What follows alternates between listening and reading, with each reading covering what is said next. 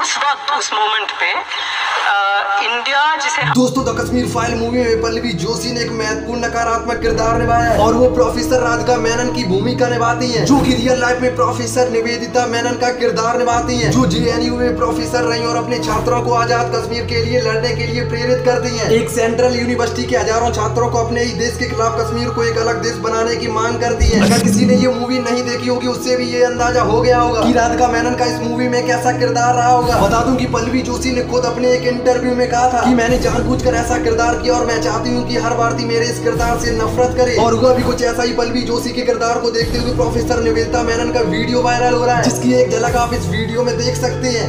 क्योंकि इतिहास एक बार हम जान गए तो राष्ट्र के सारे रहस्य खुल जाएँगे।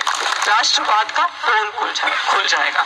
यही है प्रॉब्लम तो अगर आप तो जब हम देखते, जब हम कहते हैं बार बार इंडिया अगस्त उन्नीस सौ सत्तावन सैतालीस में सैतालीस में।